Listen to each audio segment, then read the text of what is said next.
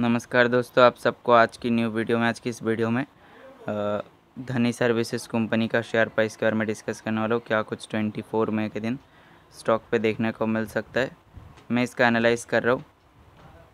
जो कि कर रहा हूँ डेली चार्ट पे। तो यहाँ से कुछ इस प्रकार से स्टॉक चलता हुआ देखने वाला सपोर्ट लेके यहाँ से स्टॉक आगे अच्छा खासा रैली दिखा सकता है।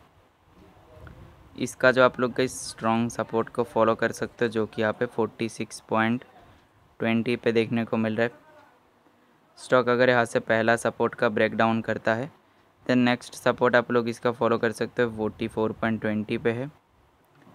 रेजिस्टेंस की अगर बात करें, इसका आप लोग सबसे पहला स्ट्रॉन्ग रेजिस्टेंस को फॉलो कर सकते हो, जो कि देखने को मिल रहा है forty eight point eighty five पे है इसका पहला स्ट्रॉन्ग रेजिस्टेंस और इसका अगर ब्रेकआउट आता है, तब आप लोग अगला फॉलो कर सकते हो फिफ्टी पॉइंट सेवेंटी पे।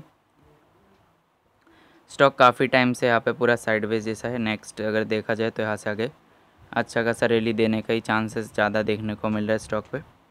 तो 24 मई के दिन स्टॉक यहाँ से इजीली 48.85 तक का एक टारगेट दिखा सकता है। मिलता है नेक्स्ट वीडियो में।